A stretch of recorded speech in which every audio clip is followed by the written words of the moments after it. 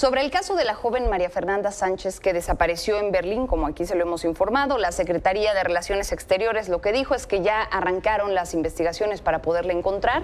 La Cancillería destacó que estas acciones se han realizado en coordinación con los padres de esta misma joven para poder así pues obtener la colaboración de la Interpol en el caso. El embajador de México en Alemania, Francisco José Quiroga, subrayó que ya se ha pedido a las autoridades de Berlín que atiendan la situación y se ha llevado a cabo la impresión de volantes incluso, además de la suma de agrupaciones para poderla encontrar.